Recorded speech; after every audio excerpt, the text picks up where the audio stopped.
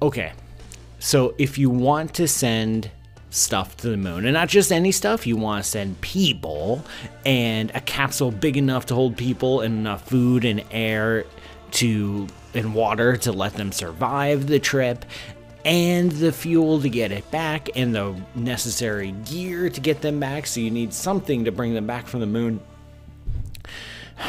you need a big rocket and the Apollo missions were launched with the Saturn V rocket, which was the biggest, baddest rocket ever devised in humanity, arguably ever. That's right, even the rockets that we have right now arguably aren't as powerful as the Saturn V rocket used to send people to the moon.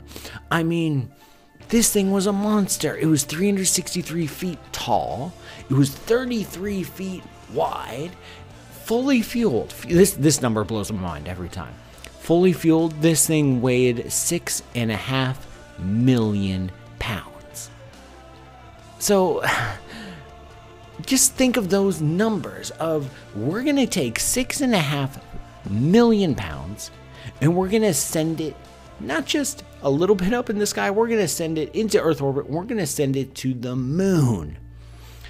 Now, these rockets, especially the Saturn V rocket, move in stages. They launch in multiple stages. And the reason why is like you've got this big tall rocket.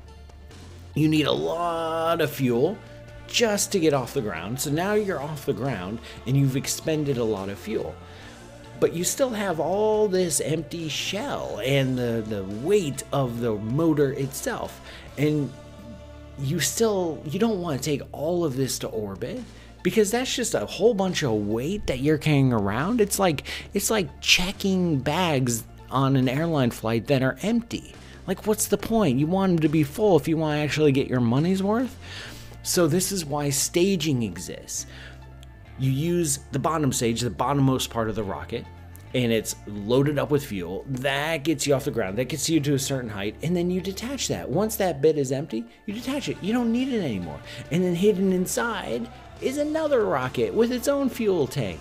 And then that pushes you a little bit further. And then maybe you don't even need that anymore. So that detaches. And then hidden inside of that is another rocket with its own source of fuel that you actually use to complete your mission.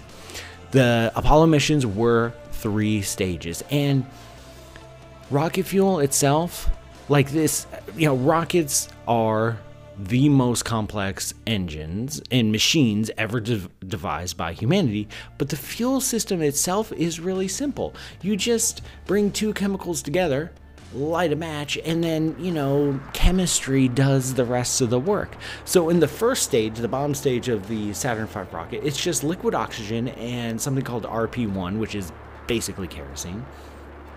Oxygen, kerosene, match, boom, go, out the bottom, rocket happens. The next stages are liquid oxygen and liquid hydrogen, which have uh, different performance characteristics. They're able to lift the rocket or push the rocket in a different way that's more efficient once it's up there rather than down here. That's why there's the different mix of chemicals. And remember this 6.5 million pounds, 363 feet tall, 33 feet wide. You gotta go 33 times the speed of sound. We're not messing around here, folks.